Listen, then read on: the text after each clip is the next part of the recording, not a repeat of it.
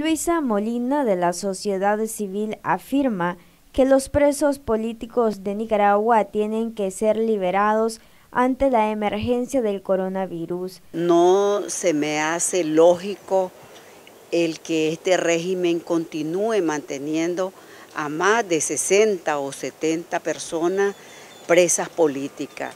Además que no han cometido ningún delito, me parece que una demanda y una exigibilidad a lo inmediato. Creo que eso no puede seguir siendo y me parece que esa es una acción y una demanda nacional e internacional. Me parece que no puede seguir siendo eh, las personas que han estado en la lucha por la paz y por la justicia de este país que sigan pagando con la cárcel la defensa de la patria de Nicaragua. Molina agrega que el haber liberado a presos comunes viene a incrementar el nivel de inseguridad en el país.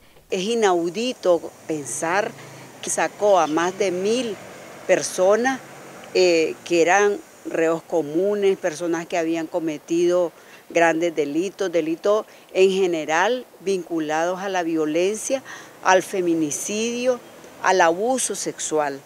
Entonces, toda esta situación eh, incrementa los niveles de inseguridad ciudadana y los niveles de peligrosidad en la casa. De por sí, las casas, según los estudios que se han hecho nacional e internacionalmente, han demostrado que, que las casas son el lugar más inseguro para los niños, para las niñas y para las mujeres.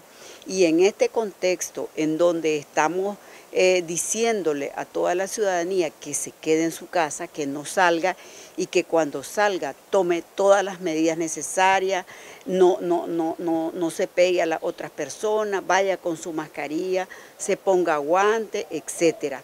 Entonces, todas esas medidas eh, que se están tomando quedan, al final, quedan marginadas precisamente porque lo peligroso está en el hogar porque soltaron a personas peligrosas. Entonces, esto no incrementa la inseguridad ciudadana. Noticias 12, Darlene Telles.